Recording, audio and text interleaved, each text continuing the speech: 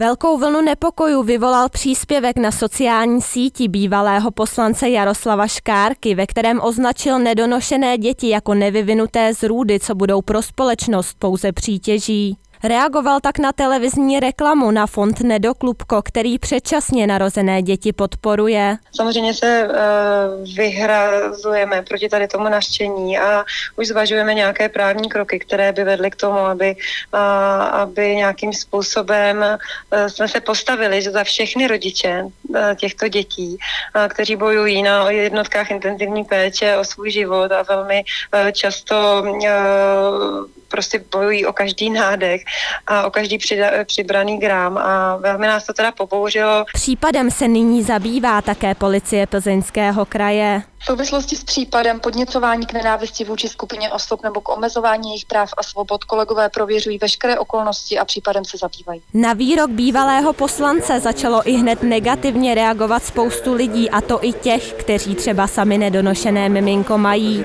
Naopak velkou vlnu solidarity zaznamenala nadace Nedoklubko. My jsme v Nedoklubku velmi vděční za podporu, která eh, nám ze všech stran přichází, ať už je to právě od rodičů, od maminek a od eh, tatínků, ne všech nedonošených dětí, eh, tak samozřejmě ta pomoc a podpora a slova útěchy a povzbuzení přicházejí i úplně zvenku od lidí, kteří vlastně nejsou nějakým způsobem zainteresovaní ani tím tématem a problematikou předčasného porodu nějak zasažení a, a nabízí nám pomoc a, a chtějí nás nějakým způsobem v téhle věci podpořit. A co na Škárkův názor říká odborník?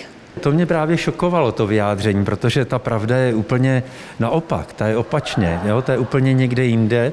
Naprostá většina těch dětí uh, se vyvíjí dobře, jsou v pořádku a přinášejí svým rodičům velkou radost. Takže já musím říct, že to vůbec nechápu, kde, kde pan exposlanec vzal prostě podklady pro takto brutální vyjádření svého názoru zaměřeného vůči nedonošeným dětem. Příspěvek dnes v odpoledních hodinách exposlanec ze sociální sítě smazal. Nyní prý chystá své vyjádření. Já připravuji tiskové prohlášení, bude myslím si, že tak během půl hodinky, hodinky na mých stránkách eh, na Facebooku. Myslím, že dál už nemám potřebu to komentovat.